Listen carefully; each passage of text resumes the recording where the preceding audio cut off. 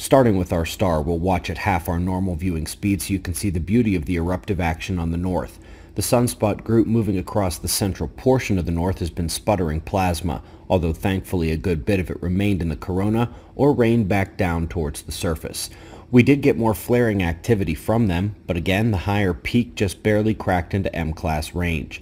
We can see the plasma activity much more in the 304 angstrom view, with the early morning activity from yesterday occurring in rapid succession and then last night's larger surge as well. The good news is that again much was contained within the corona and there are only faint CME signatures. The Enlil spiral does indicate at least one of the faint plasma clouds is heading at Earth, unlikely to cause more than just auroras and some minor geomagnetic disruptions. The sunspots responsible for this uptick are now heading towards the limb. From there, it will be more challenging for them to fire a CME at Earth, but more likely for them to use the interplanetary magnetic fields to send high-energy particles along the flux tubes within the sun's current sheet.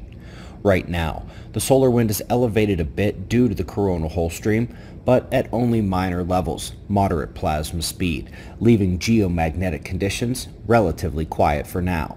We are also watching the southern hemisphere as the large dark snake-like plasma filament has eruptive potential and would produce a sizable CME if it releases.